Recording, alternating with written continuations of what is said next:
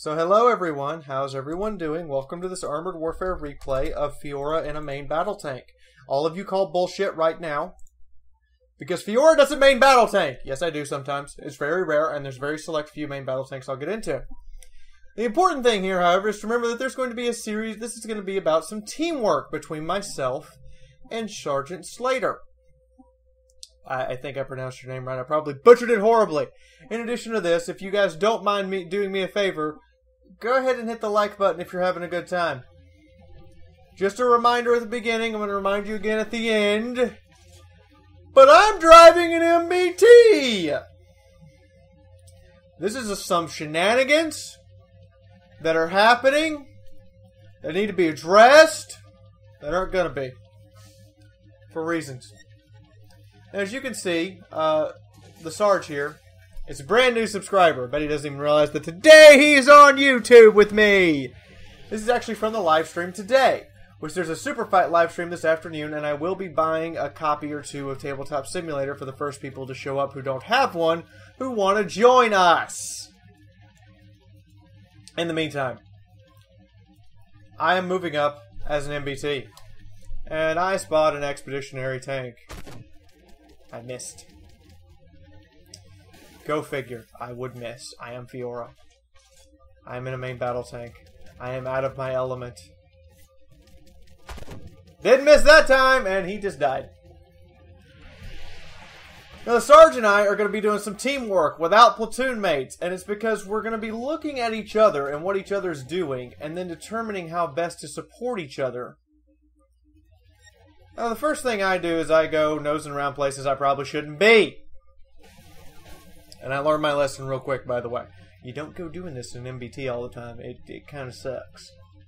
So I first come around this way, and I think, you know what?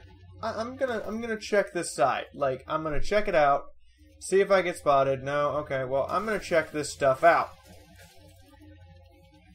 Now it's right about here I get lit, and I'm like, what the fuck lit me? and you'll notice it here in a moment. There's the BMP-2 at 100 meter, at 150 meters, able to light me and hit me with a missile before I can react. Now I stay here a moment and keep lighting him and pay him back because I know he doesn't have the gun depression to hit me. And at the same time, I begin to side scrape away because I realize that this is a bad spot to be in as I hear the second missile go whizzing out and slam into the buildings. So I decide I'm bugging out of here. And then I notice my map.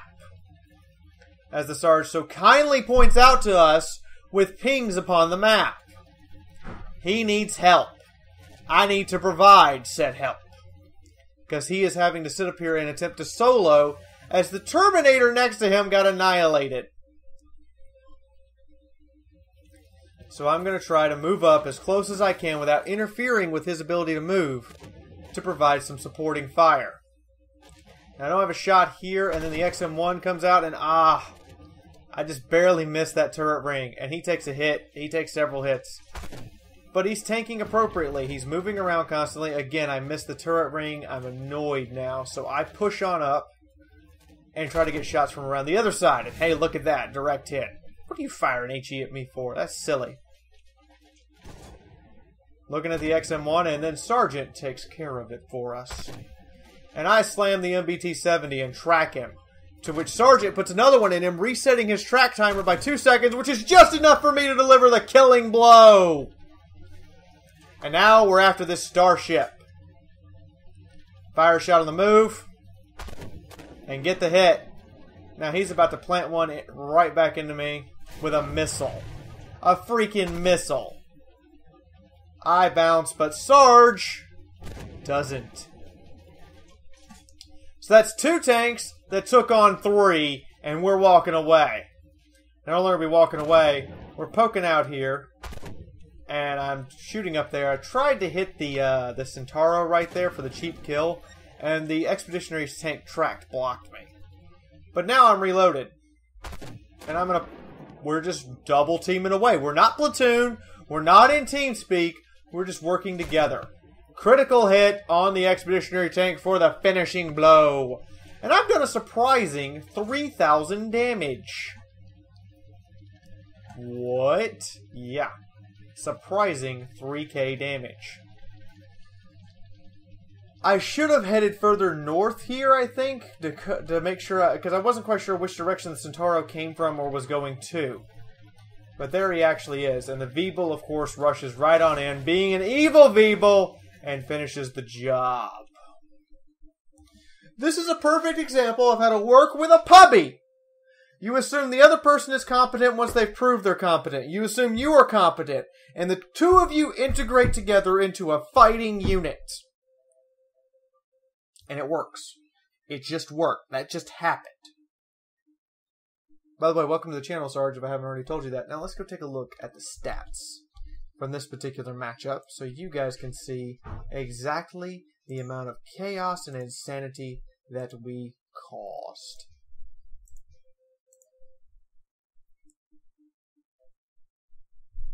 Here they are. So, I did 3,090 damage, 5 assists, 2 kills. That's not terribly bad, especially considering we were outnumbered in the city by a significant amount. Um, wrong way, Fior. I think. Yeah, here we go. So the Sarge and I did a combined 7,106 points of damage, working together as a team to kill six enemy tanks.